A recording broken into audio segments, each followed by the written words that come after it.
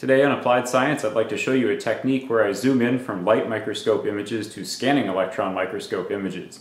So let's pick an everyday household object that you might find surprising, just your average cheap house brand toothbrush.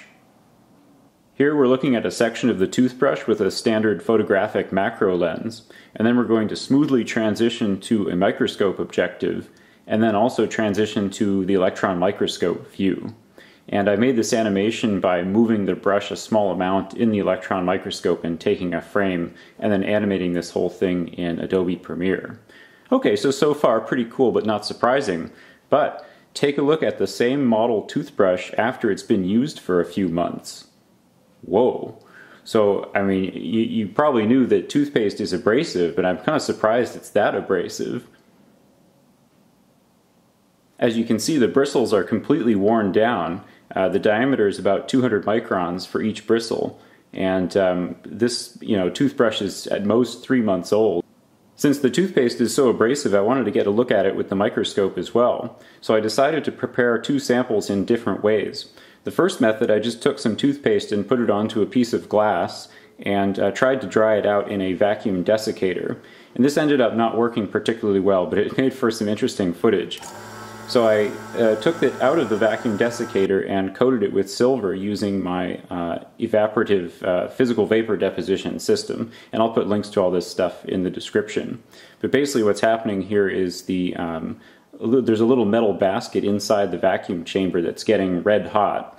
And uh, it's it's um, vaporizing silver metal, pure silver, and the silver is coming up and coating the surface of the object that I've put into the bell jar.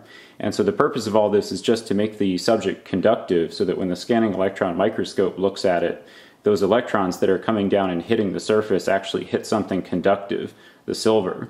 So if we're looking at something that's non-conductive, like a toothbrush, a toothbrush bristle or a piece of toothpaste, um, the electrons would actually get buried in the sample and we wouldn't get a very good image. I loaded the sample into the electron microscope as normal and then set it up to look at the uh, image at low magnification. And as you can see at low magnification everything was okay and I could scroll around and look at the sample. But whenever I zoomed in, the concentration of the electron beam in one small area caused it to start bubbling very uh, violently, in fact. So what's going on here is the toothpaste is a mix of water and some other things, glycerin, I think uh, maybe guar gum or something like that too. And it's formed sort of a skin over the top, so I'll bet there's water trapped below the skin of this thing. And then when you concentrate in with the electron beam, it's actually uh, either heating or sort of drilling a little hole through that top layer and causing the water to expand and bubble out. Could just be trapped gas too, just trapped air or something like that. I don't have a digital acquisition system set up for real-time video yet, but that is in the works. And so currently I'm just capturing this video by pointing the uh, camera at the microscope's uh, cathode ray tube. So it's you know fairly low quality, but once I get full control over the raster uh, scan generator in the scanning electron microscope, I'll have better quality video. Since the first toothpaste sample didn't work, I tried again and this time put some toothpaste into a test tube with some distilled water and shook it vigorously. And my plan this time was to uh, try to dissolve everything that would dissolve in water. And what I should be left with is the uh, essentially the sand or whatever the abrasive media that they put in toothpaste. Since that's not soluble in water, it's, it's very much like sand. And so I did a couple of water changes, shaking the test tube and just letting it settle by gravity. And uh, after a few cycles uh, of only letting it settle for a few minutes each, I was left with a white substance in the bottom of the test tube. So I scooped that out and put it onto the same glass holder, and this time dried it with heat instead of in a uh, vacuum desiccator, and then coated it with silver just as before, and then looked at it with the SEM, and this is what it looks like. The particles are quite a bit bigger than I expected. It's about 20 to 30 micron, and so that's the equivalent of maybe six to 800 grit sandpaper, which is, you know, fairly coarse. I mean, you're putting that stuff, you saw what it did to the toothbrush bristles, and so, you know, you're putting that on your teeth every day. That's pretty abrasive. And um, if you're stuck somewhere and you don't have access to decent plastic polish or anything, you can actually use toothpaste uh, to clear up like fogged headlight lenses, you know, plastic uh, headlight lenses on a car. Um, you know, six to 800 won't get you really decent optical clarity.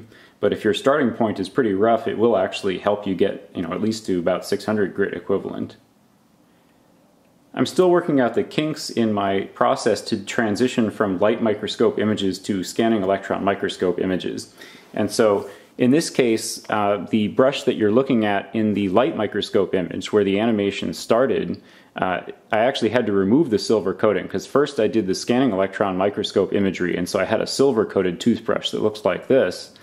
And then I had to, um, since the scanning electron microscope has such a small field of view, I had to sort of pick a spot on the brush that looked good in the SEM, and then took this out and had to remove the silver using nitric acid, and then did the light microscope imaging using this um, attachment with the microscope objective screwed onto a camera adapter. And I'm pretty sure I have a, a video about this, which I'll put a link to in the description. Also, I had to build this special holder for the toothbrush since um, it's kind of a large object to put in the SEM and I needed the rotation to be kind of close to where I was imaging. So you can see the bristles are here, and if this thing spins on its axis, or actually it's kind of more like this, so that as it spins on its axis, if we're imaging right in the center here, it doesn't uh, move off. Whereas if I just put this thing flat down, the tips of the bristles would be moving quite a lot, and it would be hard to fit all that into the field of view of the SEM. So I've started to accumulate a large number of these customized holders and then I can either hot glue down or uh, use some um, uh, conductive carbon glue to glue stuff down. As you can see, the silver deposition is directional, so the underside of the brush has no silver on it because it was glued down like this, and I put it into the deposition chamber with the silver aiming upwards, and as you can see, it's even coming off on my fingers there. I've been creating these animations by taking still images from the SEM and then creating little zoom snippets in them and putting this in Adobe Premiere and then using the offset and zoom controls to sort of align the front end of each clip to the back end of the next and so on. This is a pretty time consuming process and the end result is actually not that smooth. So a couple viewers that know much more about video editing than I do uh, did a much better version using Adobe After Effects where they layered all of the images and then smoothed the edges out. And in After Effects, you can have these incredible zoom ratios where you go from, um, you know, 35x with the scanning electron microscope all the way up to 100,000x. So let's take a look at that right now. This is a tungsten filament from a very tiny light bulb, and we're zooming in super smooth uh, because of this better technique, which I hope to uh, implement myself in the near future. The abrasive in this particular toothpaste is dicalcium phosphate dihydrate, the first ingredient or the first inactive ingredient. And uh, in other toothpastes, sometimes baking soda is used, and in still others, uh, titanium oxide is used. But they basically all have the property that they wear down the tartar that may collect on your teeth. So the, um, the plaque is actually fairly soft, and so the purpose of the bristles is to just remove the plaque. And in fact, the reason that you have to change your toothbrush after it you know, wears out is mostly because the um, the softness, sort of the bristles, have become worn down where they don't actually wipe away plaque as effectively as they do when new. So you might think, oh, well, that rough surface on the bristles is just you know sloppy manufacturing, but no, it's actually made that way on purpose so that the bristles are wiping away plaque in a much more effective manner. When they're smoothed over, they aren't as um, there aren't as many surfaces on the surface of those bristles to wipe away the plaque. Okay, see you next time. Bye.